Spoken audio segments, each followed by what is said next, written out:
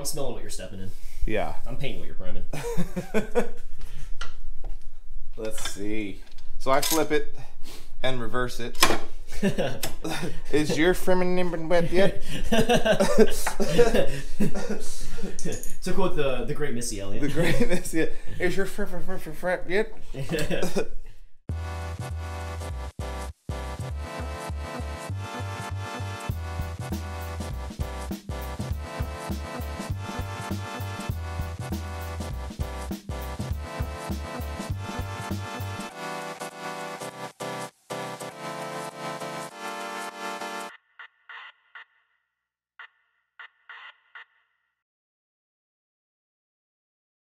Folks, welcome back to Driftwood Guitars. Today, I'd like to do an episode on how I go about carving the necks on my acoustic guitars. Um, I think everybody's got a little bit of a different technique on it, and I just wanted to give you a quick rundown on how I go about skinning this cat. Because once again, this isn't the way that you should do it; it's just the way that I do it, and uh, I think any little bit will help.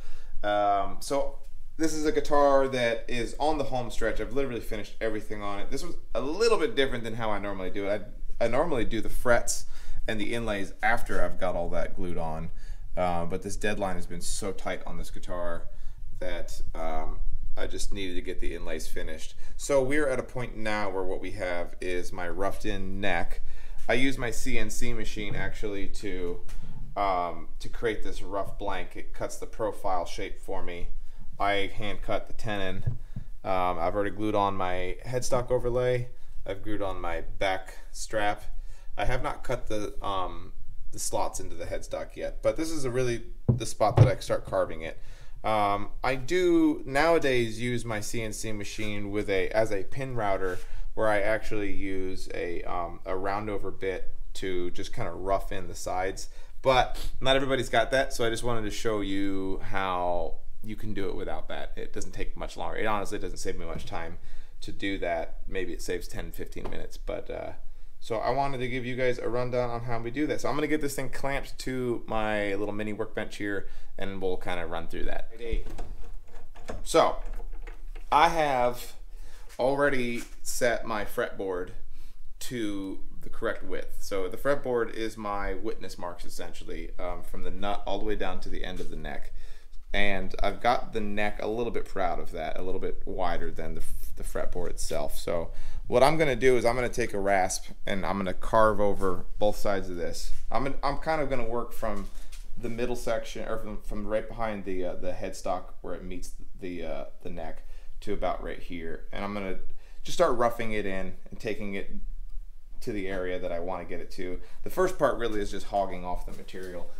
And uh, I use these files here.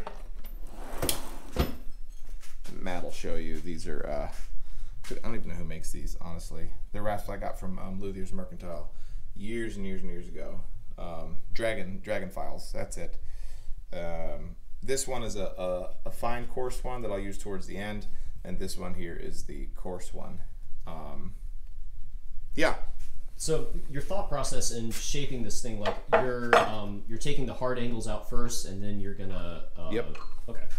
Yeah, kind of. I, I I'm gonna knock off this hard edge first, just kind of almost create like a 45. Uh, you'll see. I just kind of get in here and go to work. Now this is just so you know, um, like a this is Spanish cedar. I can never sometimes can't tell uh, remember if it's Spanish cedar or um, mahogany. So this is Spanish cedar neck, which is nice for me because Spanish cedar is like the softest wood I use for making necks. So this will actually go pretty dang quick. But uh, I think the things to remember, and if you're going to follow my technique, is I do the fretboard gets glued on, and your head plate, and if you are going to backstrap, which I, that's a whole separate episode. Um, but if you do backstrap your necks, to get all that in place first. Um, so the, almost the last thing that I do, other than putting the end cap on, is ready to go. So, like I said, I'm gonna use my coarse file, and I'm gonna get in here, and really just kind of get to work. I usually kind of make a spot that's kind of my my stopping place. I was working with my apprentice, and I was showing him this technique. When you're when you're filing something, you can actually create a, a, divot in the wood like that. And what that does is it becomes a place where your file no longer goes past. I'm basically creating a wall that i can't accidentally slip and send my file past it. So i'll do that over there. I do that right there, and then I will do the same thing on the heel end of the neck. Um, kind of right around here and here. And then that kind of, like I said, that now creates a, a, border for me. But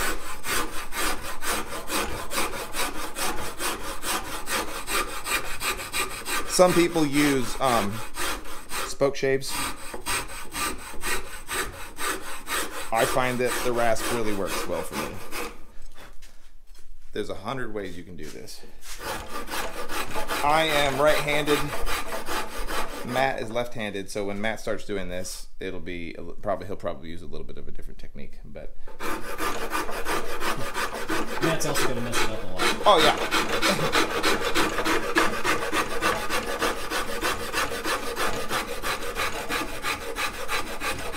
you can see how much is bouncing around. That's why if you have a better file or a better system to cradle the neck, uh, it'll actually go a little bit quicker.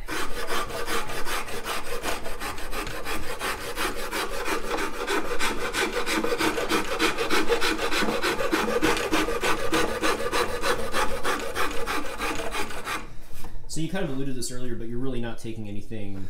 You're not No. working off the top. You're you're uh, bringing this in. Yeah, and that's another good thing I'm glad that Matt brought up. So, part of the reason why I rough my necks the way that they are before I do anything else is what I already know is that this neck is I'm out of breath. is that is that this neck is um, already the exact thickness that I want it to be. I find that for me that is really nice because so I know that this is the right width and it's the right thickness that I want. So now all I've got left to do is to make the apexes of all of my radiuses just touch the top of this and just touch the edge of that and then I'm good to go as opposed to there's a crap ton of extra material here and I'm you know I'm over here hogging away at material and then you what you can end up with is lumps in the neck where it's you know a quarter millimeter thicker here quarter millimeter thinner there and it doesn't seem like a lot but your hand will tell you that that's not right and um, so I recommend to anybody is that you before you glue your your fingerboard on when you're making the rough blank of your neck, you don't need a CNC machine to do that. Um, that you get this to the correct thickness.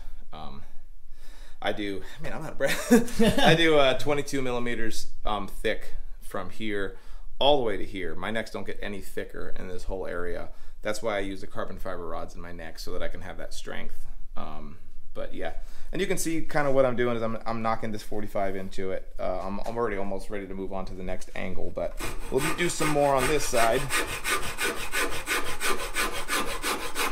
So I guess you're gonna do like a 45 and a 45, and then you do like a 22 and a half. And Exactly. Okay. It's a feel thing. I'm gonna move this this clamp, get in my way.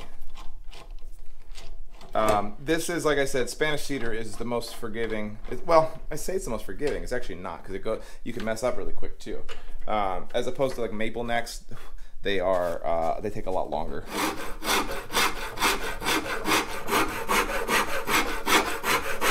And you'll notice that as I do this, I start to reveal the nice shape on the back of this back strap.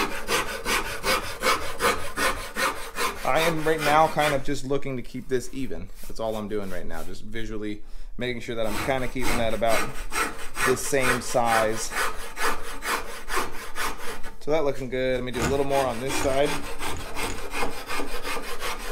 So if you're someone like me that's never really done this before, what are the mistakes that you're that you think that you know like that I'm gonna make the first time I try to do this by myself? I- and this is goes not just for necks. I think that the number one thing that people do, if you show me a guitar that's like, oh, this is my first guitar, my second guitar, my third guitar, the one thing that I've noticed over the years is that um, there's always really everything's really chunky. I think people are afraid to take off too much material, sure. and that is you can always remove it, but you can't bring it back. Right? yeah, and so like bridges um, are very bulky, um, but the big one is the necks. A lot of times people's, I mean, and I'm guilty of it. My very first guitar was like a baseball bat. Uh, I think most people's, if they're making their necks from scratch, end up being very similar to like a baseball bat. Um, so that's the thing that I'd say is that to not be afraid of taking off the correct amount of material. And as we get a little closer, I really talk about that. But a big reason why necks end up feeling really baseball-y is that they, these sides are actually totally um, 90 degrees to the fretboard. Um, and you don't really want that because even if it's the right thickness, is the profile's not right, and it just feels really, really big in your hand. So that's what I'd say. The biggest mistake is to, is you're actually leaving way too much meat on the bone.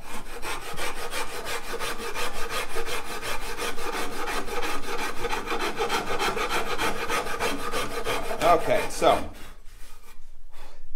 you can kind of stand here, Matt, and look down. I've obviously got a little. I've taken off more on this side than over here. That's just not for any particular reason. So the next step is what I'm going to do. You stay right there. Is I'm actually going to probably carve into this angle, I'm going to carve into this angle. So I'm instead of the 45, you know, the 22, and I'm just, you know, I'm not measuring, but about 22 and a half degrees, and about another 22 and a half degrees off of that 45. Um, kind of splitting the difference. I'm basically going to create half of an octagon. Uh, well, I guess more than I'm going to create. There's already an octagon, half of an octagon, so it'll be whatever 16 side it's uh, just a you know simple dodecahedron, whatever, Yeah. no big deal. It's mash, mash. uh, but so I, I am just going to slowly approach, just like all woodworking. You're not going to go. You're not going to cut to the line. You're going to cut proud of the line and then slowly approach the line. And then whether that's cutting, literally cutting a line, or you're doing neck carving, that's what we're going to do. So um, I'm using my bound. I use. I always bind my my fingerboards. Uh, so I'm going to use my binding as a way to tell how far I've gone. So if you kind of like watch this area here, as I file, it'll slowly start eating into that binding. And we are almost there. Yep, there we go. So now it's now it's just starting to to eat into this binding here. The GoPro is hard to see sometimes, but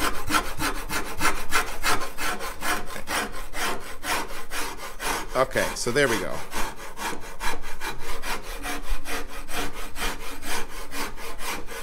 Suddenly, we are very flat on top, but we're just starting to kiss this binding. This is a figured maple binding, and this is a coarse rasp. So I'm not going to go any further into this binding with this particular file um, because I don't want to create any tear out. But now I know that I'm where I want to be. So now the next step on this particular side will be to put the 22 and a half degree angle over here.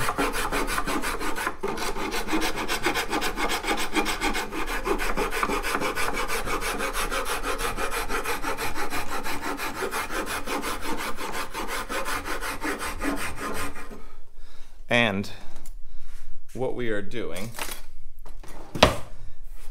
just like I'm using my um, my binding as a witness line, I'm going to do the same thing in the center of this neck. I'm going to leave that untouched wood visible right there. So I once again I'm trying to connect the line between here and here. And as I slowly bring that around, and you know, the more that we get to the angle that Matt's at, the more I can see it and feel that this is still got quite a bit um, left on it. So, let me see something. Don't mind my poor writing over here, but I'm going to show this to Matt. Yeah, you guys are learning the same thing I am. Yeah, I hope this isn't too like chaotic, but this is just learning as we go. I'm teaching you the same way. So this is kind of my approach. This is our fretboard, and this is the neck. A lot of people, what they'll do, especially when they get started, they will carve it like this out of it.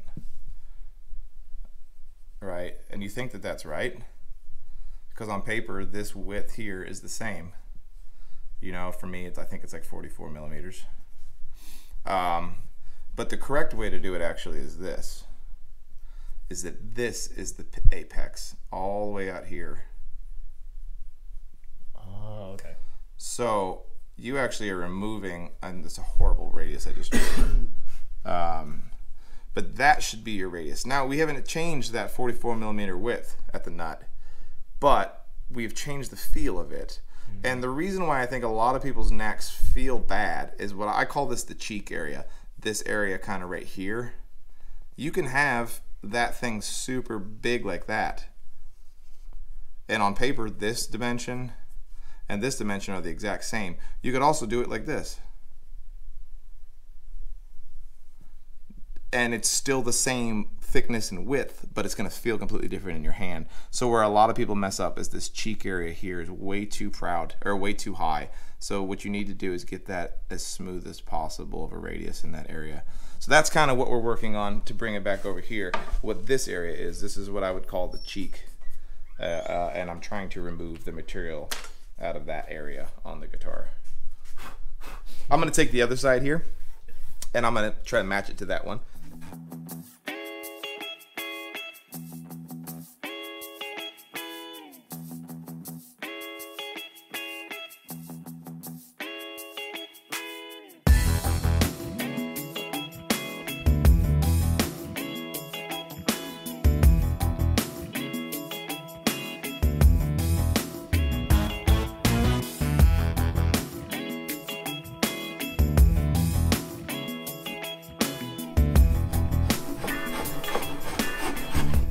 See as I'm not talking, I'm going a lot faster. It's starting to look like a neck real quick. Oh yeah, wow. Um, there's a crap ton of material still left on there. I don't know for it's a feel thing. So I, I kind of do my guitar building. My wife likes to cook and she always watches like Pioneer Woman and stuff like that. And she always gets pissed off because she's like, "How are they not measuring? You know, they say a teaspoon of this and they pour it in." Well, I approach my guitar building very similar to that. In certain things like this, I don't necessarily have like a profile that uh, I'm shooting for on my basic necks. Um, if a customer comes to me and says, "Oh, I've got to make, I want my neck to feel exactly like my 1945 D18," um, then I then I do exactly that. But um, on my my regular necks, it's a very tactile feel thing for me. So I start to um, carve these necks till they feel right. Uh, and for me, there's a lot left still on this neck. Um, I do measure once we get real close, but there's still a lot, lot to be to be had on here.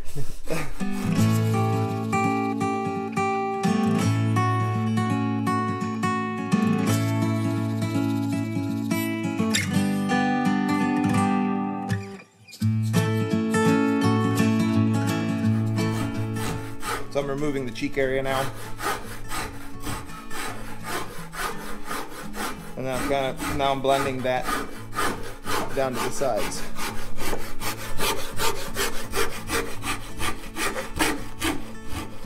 Being extra careful as I get to the binding. I'm like I'm reducing the pressure I'm putting on it as I get to the binding.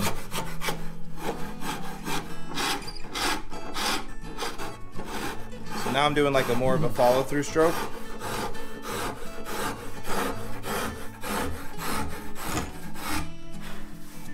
So if you do get tear out from the binding, um, I mean, what's the what's the thought process on that? I mean, obviously that's the worst case scenario, but let's talk about that since you know you're. Yeah, uh, uh, uh, the measure of a good luthier, in many ways, is your ability to recover from mistakes. I mean, that's not just a good luthier; the measure of a good woodworker.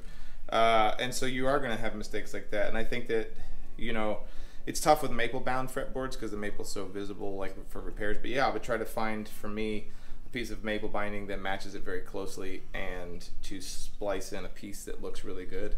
If it totally f's up, then I'll actually remove that side of that binding and put a new binding piece on, and that you can get a second shot at that. But yeah, it's just a. That's why I recommend only using the coarse rasps until you get close. Then we're gonna switch to the fine. The real magic comes in with the sandpaper shoe polish technique, and we we are there in just a few more minutes. So I feel like this side is pretty much roughed in how I want it feels very nice to me. This other side is not quite there yet. Something that I think about too is that the shape of your hand uh, is not a perfect C. I mean, anybody who goes like this, you're going to notice that it's flatter on this side and this weird. So it's almost like a V shape with the apex over here on the one side. So I find that as a right-handed person, the way I carve my necks do naturally almost start to take on more of this shape um, if you have a perfectly C-shaped neck, it almost feels bulky.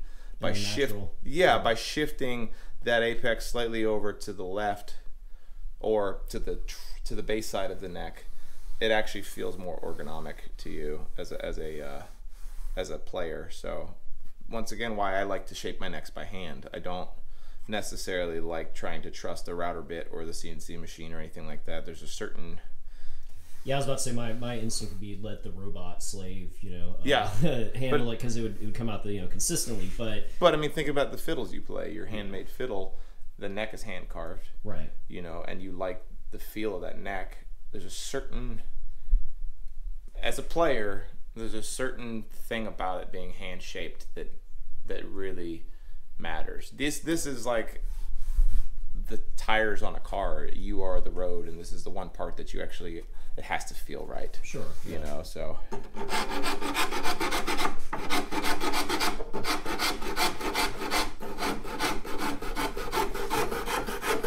once again, taking off of the, the cheek area. Yeah, shoot from that angle. Taking off from the cheek area, and now I'm going to slowly blend that.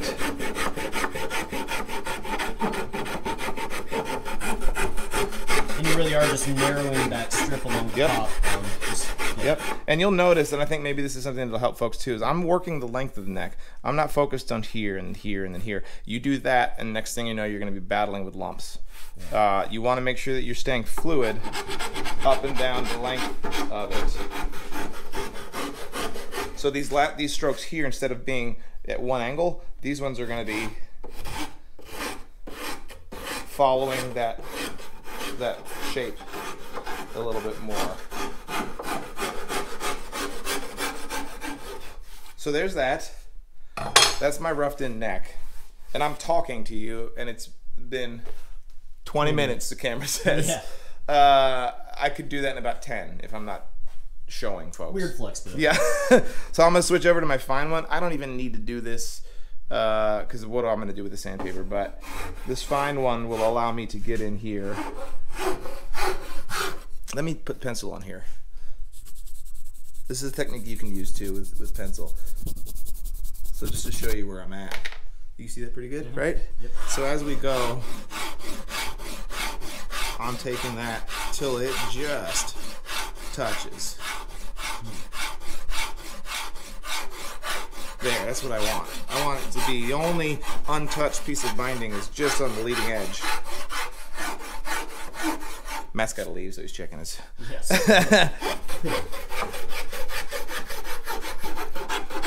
Are you good for another few minutes, Matt? no, this is just super boring, Chris. Yeah. Yeah. All right. So the big part for me is uh, this is like a, a shoe polishing technique.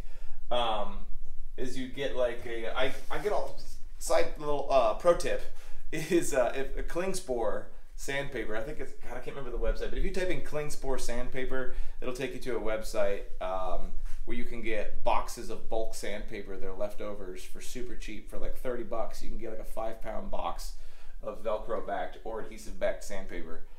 The best sandpaper anywhere too. But anyway, I buy that. Um, we come in here. Oh, I'm out. I'm out of my low grit stuff, and uh, I have this stuff set up so that you can come in here and pull pull out what you need and tear it off, which is super cool. Uh, but I have some stuff over here left over from my last few jobs. Um, 60 grit. Yeah, so we'll take some of this like 60 grit and we come back over here. You can shoot from uh, which side are you gonna shoot? Let's shoot back where you were. We have the the B-roll camera. Um, the roll camera. So this is you'll see why we call this a shoe polish technique. Is you get in here.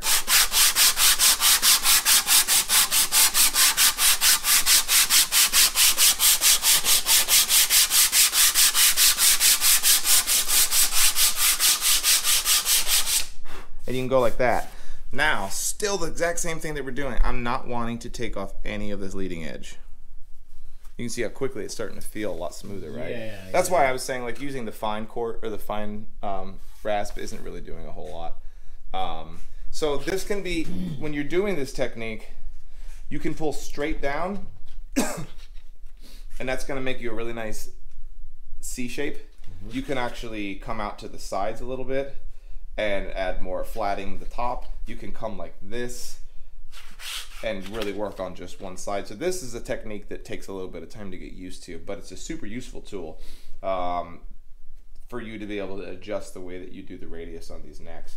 And with this Spanish cedar, it doesn't take much at all. You just really, I'm just wanting to get rid of any low spots, high spots, average it out, especially because this is 60 grit.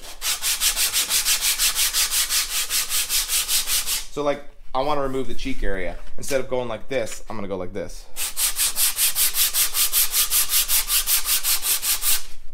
Same thing on this side.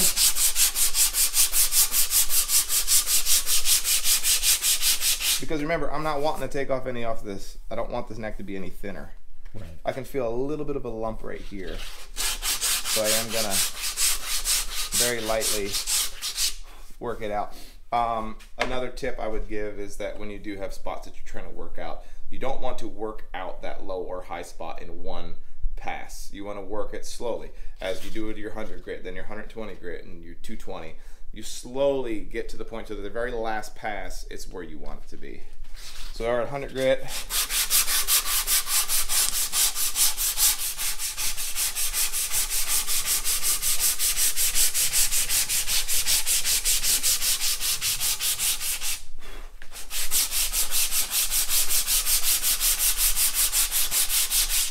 Normally I wear a respirator with this. So many comments, uh, but you can't hear me talk. So uh, no respirator right now.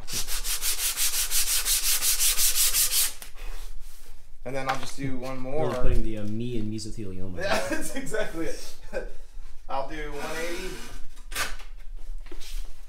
Don't act like you're not jealous of the sandpaper dispenser. Bespoke. it's bespoke. All right. So I like honestly, for now, that's good. Like that feels like a solid neck to me. There's a low spot right here. You can feel a little bump. Boom. Oh yeah, just a little bit. So those sort of things tend to happen when you have any sort of twist to the sandpaper this way or that way.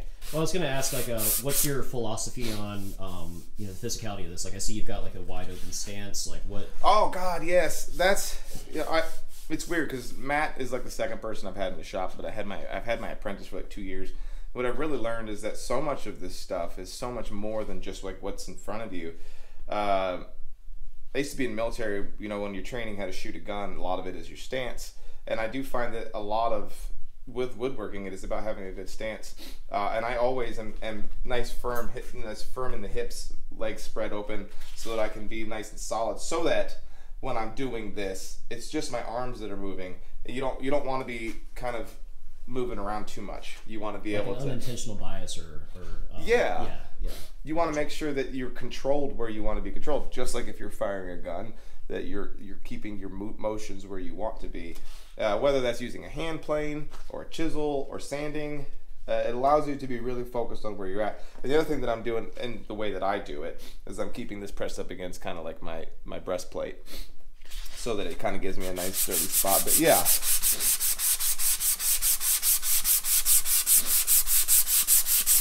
And then I can come in here and work a little bit. I'm not worrying about this being perfect quite yet.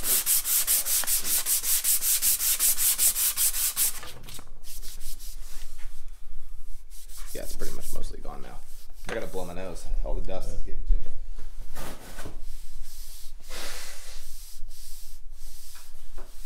Right, feels good. Yeah.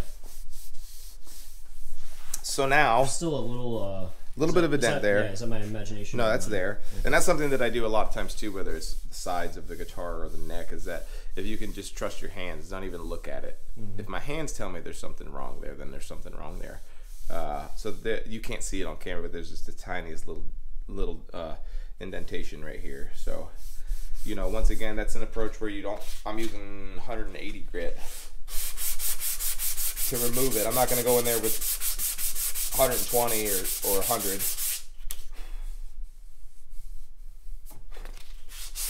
and just slowly try to remove it. Not in one foul swoop. Because I mean, at this point, the radius of the neck is basically it's almost living where it needs to be. Yeah. Um, so you're just trying to like take stuff away from the outside of the spot and then bring it in slowly, right? Yeah. That's kind of your thought That's process. exactly it. Yeah.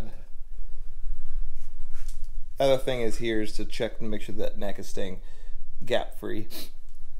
You know, and you can come in and follow that through the radius of the guitar. It is a little bit of a drop off here, uh, and then so that's just a matter of coming through and just finessing it all. But uh, what time you gotta leave, Matt? Like uh, eleven forty. Okay, like eleven thirty. Okay. Uh, let me show you just a really quick setup on here real quick. So I feel like I've got the main section of my neck carved. I do it in three sections. Uh, three sections. uh, Counting's hard. I do uh, the the main area. I then I do the headstock transition area, and then I do the heel. The heel is the more com- the, more, the harder place. Um, but while Matt's still got another few minutes before he has to leave, I'm going to show you how I do this transition area here. So I take it and I flip it around. We need to make one of those neck cradles, yeah. Matt. it's, it's another video. Yeah. See, it's starting to feel like a like a guitar neck now. yeah. Okay. I'm smelling what you're stepping in. Yeah. I'm painting what you're priming. Let's see. So I flip it and reverse it. Is your feminine wet yet? to quote the the great Missy Elliott. The greatness yet? Is your fr- fr- fr- fr- yet? So, this is why having this headstock already cut to size to the right profile is very important because once again, I know that this right here, sorry folks, this right here is the apex, and this right here is the apex. So, what I'm to do is I'm to take this and just come up to the line. I'm just a horribly drawn line, but I'm gonna make that all kind of line up with itself, and you'll see quickly how I reveal this back strap. Um, the, once again, the coarse I'm using the rounded side now.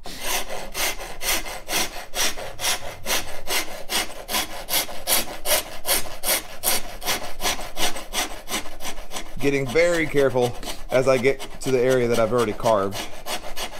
Very gentle. But this is the same idea. You're, you're not trying to round it out immediately. You're taking it down at an angle. Yep. Uh, and then you'll add the curve in later. Guess, right? Yep, and then as we get to this end of the file, it's a larger radius, so I can come in here and and really get it going. Now you want to be careful as you get close to the edge here that you don't get tear out. Always being mindful of the nature of wood. I see what you did. yeah. The nature of wood. What's from nature.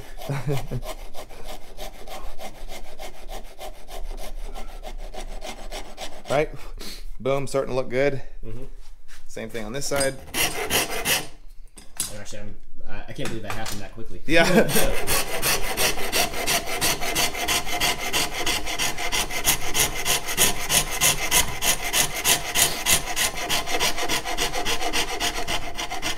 You want to be very careful here. That's so easy to slip and just destroy what you just did. You go too low. You you do one bad stroke here, and then you're like, ugh. It's you got to come up with a way to solve it. So I'm going very fast because I've got I've been doing this for a long time. Uh, take take your time. Don't try this at home. And as we knock down,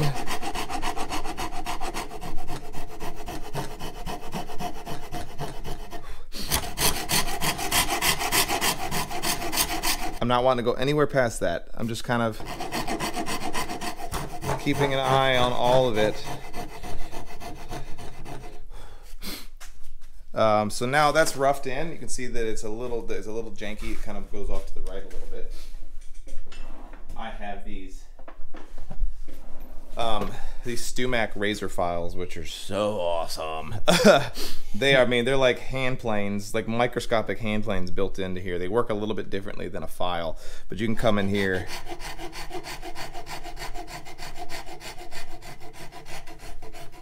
They take off material so smooth.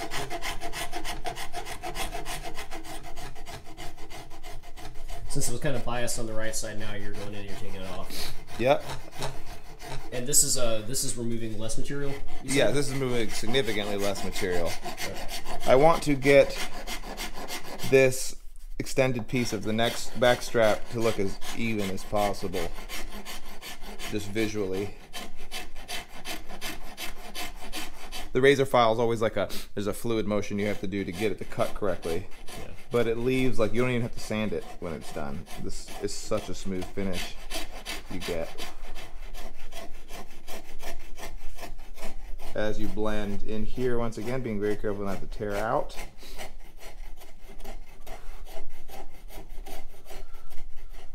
It's great for exfoliation too. Yeah, oh, it'll take the right off of your hooves on your feet. But I am shooting for, and you can see it. Where'd my pencil go? Matt's always flexing his pencil game. Um, what you want is if is this. I'm gonna take my see. Nice gradual radius there. Oh yeah. So I mean, I'm not there yet, but take a look how we how we look now. Backstrap is looking really good. I, I still obviously there's like a little weird look right there that I'll fix. That's just some tape left over from the manufacturing process. But all we have left now is the heel section to do. Uh, then I take. Um, oh, hang on, just stand by.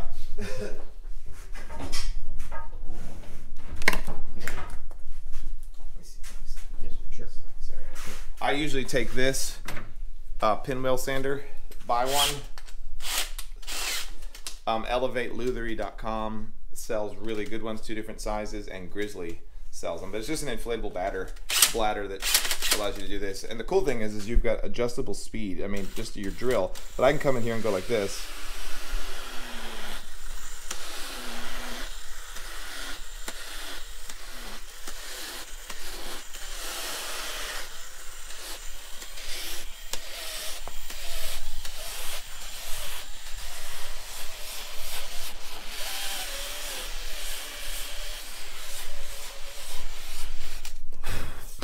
It allows me to get in there and really get it good. It's still got a little bit of work to do, but you get the general idea.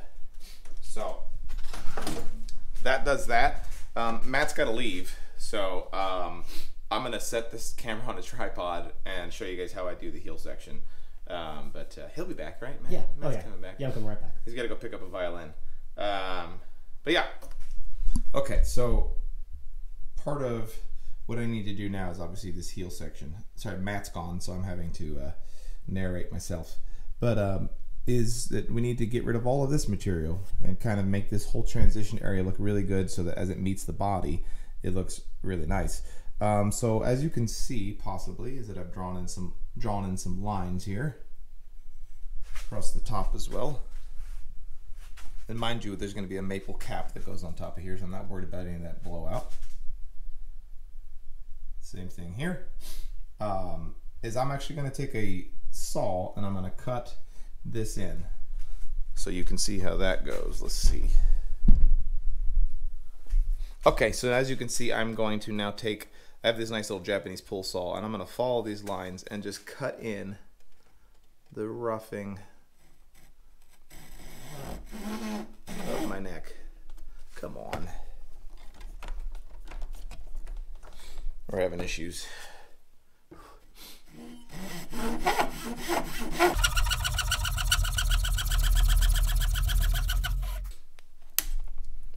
Nice high quality saw is going to ensure that you don't get any mistakes here. And that should just break right off. Cool, so that gets us there. Gets us nice and roughed in. Now I'm gonna take, I'm making a mess over here, folks. I'm gonna take um, my my uh, coarse rasp and just start hogging out material here, getting that area out. Once I'm not too worried about anything right now, making sure that I don't damage any of the uh, the wood. Let's fix this. There we go. Make sure that I'm not damaging any of the wood that I've already carved. I'm just trying to stay focused in this area.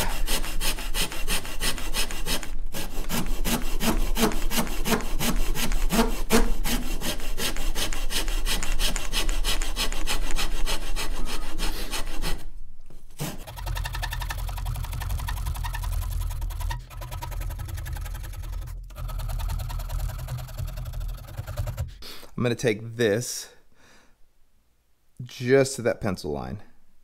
I think the biggest thing that people have a tendency to do here is if you are going to get really close, is that they're going to go too low right here and end up with a dent uh, that you can't take out. So that's just something to be aware of as you are carving. Is once again, just be very careful you don't go too far. Slowly creeping up to that line. Uh, Matt was asking earlier about like common mistakes, and I was talking about the chunkiness of the neck.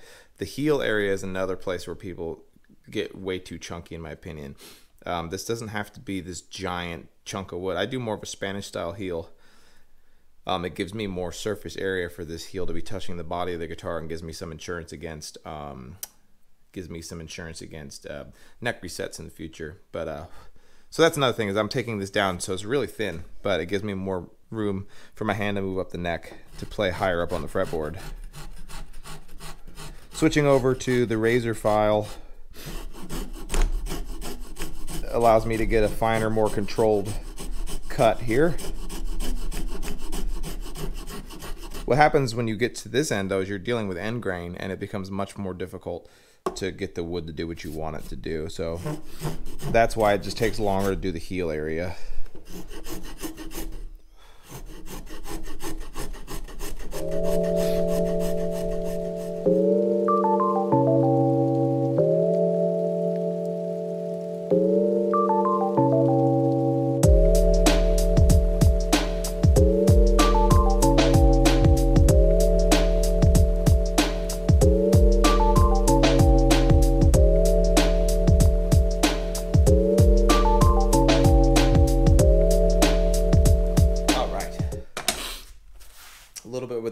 File, and then we're going to switch over to the pinwheel sander, or the, the, the, yeah, the pin sander.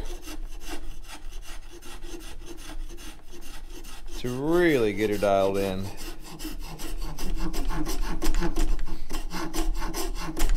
What I'm trying to do here is to get this to, to line up to a perfect peak right down the middle. So I got to make these, I got to bring these in. This is weird because I'm going from flat to radius, so it's it's just a matter of working that in.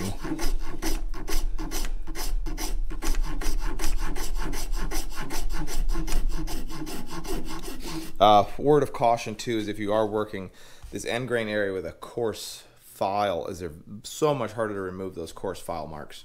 Um, that's just part of the nature of working with end grain. So I tend to err on the side of using more fine files down here. It just saves me some work. Um, on the finishing side.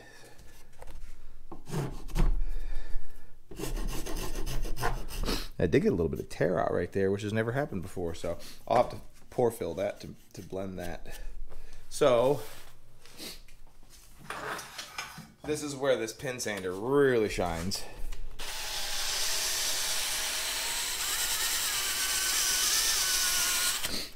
I am going to put a respirator on.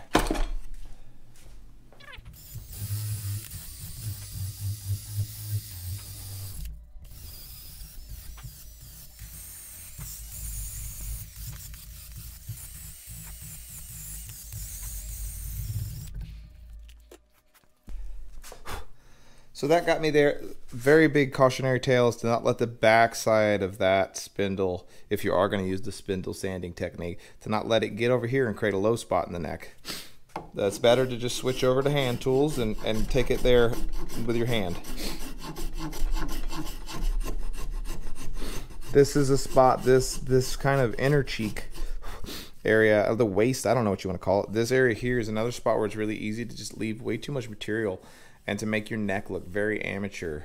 So if you're really wondering why does my guitar feel bulky or look bulky, I think that this is a spot where you can really save a lot of a lot of you can remove a lot more material than you probably are and your guitar will start to look a lot more professional. I mean, look at the heel on like a Taylor or a Martin, how nice, thin, and streamlined it is. It just looks really good, as opposed to like the Gibson neck, which is a lot more bulky. And I think that there's a certain to me, I like the more thin, streamlined look of the uh, Martins and Taylors. But uh, just you, the, you can trust the wood to hold more strength than you think. And then like on my necks, and I think a lot more and more builders are doing it. You add that carbon fiber into the neck, and you can it's that much stronger, which allows you to then remove that much more material. I think we are about there.